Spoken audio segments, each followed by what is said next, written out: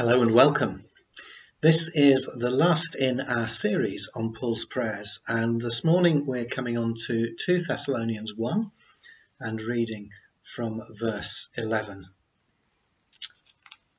So Paul says this With this in mind, we constantly pray for you, that our God may make you worthy of his calling, and that by his power he may bring to fruition your every desire for goodness and your every deed prompted by faith.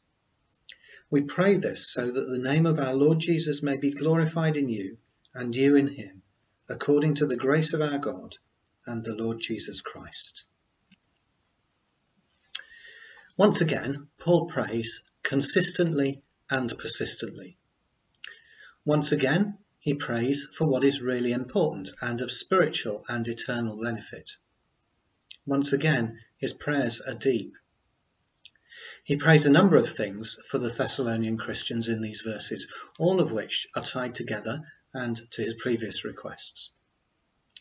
First, he prays for God to make them worthy of his calling. God has called us, as he did those early Christians in Thessalonica, to know him, to live in relationship with him, to serve him and witness to him, and to be part of his family and his eternal kingdom. We don't deserve this, because we're sinful, rebellious people and we've failed continually to live his way. And despite his work in us, though we may be, and hopefully are, better than we were, we still fall a long way short. So, in that sense, we will never, this side of resurrection, be worthy of his calling. But what Paul is praying and hoping for is that the Thessalonian Christians will please God by their growth in faith and love, and by their actions, and that these will bring him glory. And the same applies to us. Secondly, Paul prays for God to bring to fruition their every desire for goodness and their every deed prompted by faith. As they seek to live out their faith and seek to grow and to love and serve God and one another, Paul prays that God will bring fruit out of this. I'm sure that we all want our lives to be fruitful. But the fruit that we look for is often different to what God is looking for. And we want the fruit now, whilst for God, time is less significant. If we want our lives to be fruitful for God, we need to be open to that and we need to ask and allow Him to bring the fruit that He wants in His timing, which may well mean that we don't get to see some of it. And that may be hard, but let's bear in mind that the fruit is His, not ours. And if we're serving Him sincerely, that service and His glory needs to be enough for us.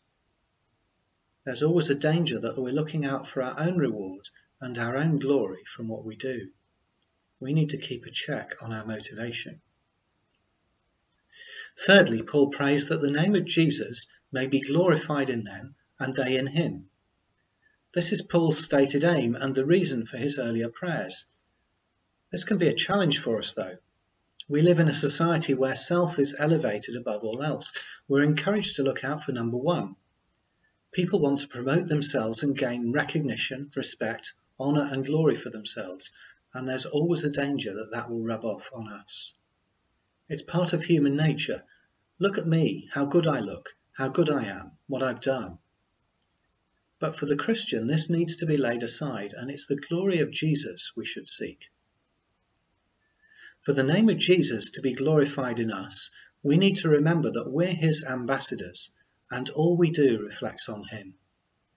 So our behaviour, lifestyle, attitudes, and character all reflect on Jesus. People will judge him by what they see in us. Let's strive to grow and to bring him glory in the way we live. But Paul also prays for them to be glorified in him, because God promises us great reward in eternity if our lives are faithful and fruitful, we'll be rewarded for that. Again, it's all tied to, into growth. So as we finish this series, let me ask, are you content as you are in your faith and your life and your service to God and your love for Him and others and your witness to Jesus? Or do you want to grow? You may well know John Newton's quote I am not what I ought to be, I am not what I want to be. I am not what I hope to be in another world. But still, I am not what I once used to be, and by the grace of God, I am what I am. May we celebrate what we've grown to be by God's grace, and may we seek in His grace to grow further. Let's pray. Heavenly Father, we pray that by your work in us, you would make us worthy of your calling, that you would bring to fruition our desires for goodness and our works prompted by our faith in you. And Lord, above all, may you be glorified in us. By your grace. Amen. Do join me again on Monday as we begin a new series looking at the messages of some of the Psalms. See you then. Bless you.